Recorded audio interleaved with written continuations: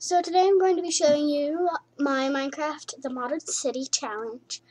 So it has required mods too, so just so you know.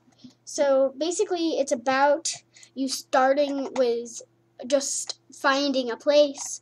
You've been sent by your people to colonize a newly discovered land, and and the, you start just by finding a place, and you have to make a little mud mud hut to stay in, and then it starts with you building a, a house and a small schoolhouse, and then it starts with, and then you make a like so you're starting to make a small village with a high school and a house and an outhouse and smelt and a lumber mill and all those kinds of things. So that's the challenge. It's about the challenge. So I'll sh so I'll show you my world now. You can find the link in the description too. Okay, so this is my world. I'm using the SMP The Beast Feed uh, mod pack from the Technic Launcher to run this. So I have my house where you start out with the living room, which doesn't have much in it. It just has a chest with some of my stuff in it. There's the kitchen with a crafting table and a furnace. And there's my bedroom. It's really tiny. It just has a bed in it. And then over here is my lumber mill. My lumber mill has an automatic crafting table in it, so you can just put eucalyptus wood or something in there and then walk away and it'll all be done soon.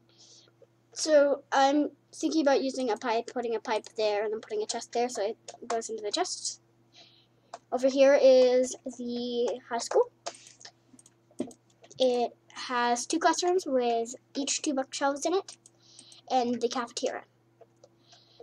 This um, school is not done, so when it's, so when it's done, it'll have a dormitory. Oh, over here is the outhouse. It's made out of eucalyptus wood, which is pink. It has nothing in it because there are no toilets in Minecraft. And I don't know if one of my mods adds toilets. If it does, then I'll craft one and put them in there. It's not expensive. Over here is my mine shaft. Oh, and I'm growing a grove of the, what are they called? I don't remember what they're called. These plants right here, because I like them. Eh, they, their saplings are just growing around my house, so I can take them, their wood, and keep working on my house. So over here is my mine shaft. That's a tiger.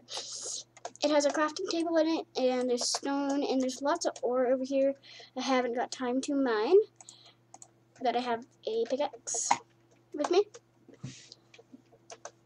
And that's all the buildings I have here. I'm uh, pla I'm planning on finishing the challenge, which is you finish the challenge when you've mastered all the mods, but you have to pay attention to the restrictions and everything like that. So, yeah. This has been a video about my homeschool study on how people like colonized in like from going to a new land and then coming he into building a modern city For, through Minecraft. I am studying. So yeah, thanks for watching, and I'll see you tomorrow. Bye. Bye.